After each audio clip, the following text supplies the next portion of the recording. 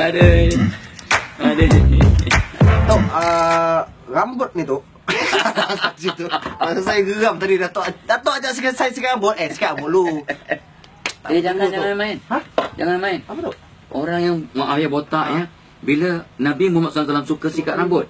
So walaupun bo- botak please ya. You kalau you bawa je sikat, bawa je sikat dapat pahala.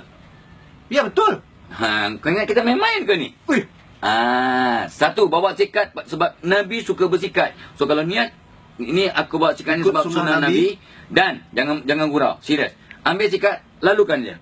Lalukan aja. walaupun botak begini. Walaupun botak dapat pahala. Kan orang cakap gila pula tu saya tu. Botak. Cakap, eh, rambut tak ada, tak ada sikat lain. Kalau kita buat umrah, Ha. umrah pertama kita tahalul botak. Ha. Umrah kedua sampai tahalul apa nak buat?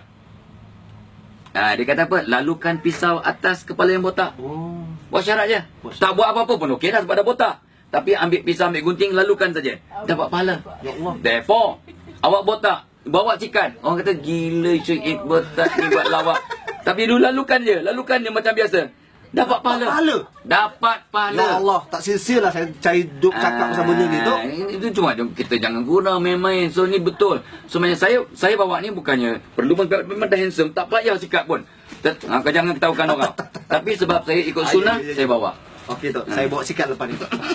Kalau nampak Suhaib bawa sikat, kenapa dia sikat rambut walaupun tak ada rambut? Ah. Datuk suruh. Ah, ya. Eh, dapat pahala tau. Dapat pahala. Ah, orang dia kata apa biol kata. Tak tak tak. Ha, ini eh, sikit ilmu je. Sikit Ya, ilmu insya-Allah. Sedikit ilmu perkongsian yang bagus. Terima kasih.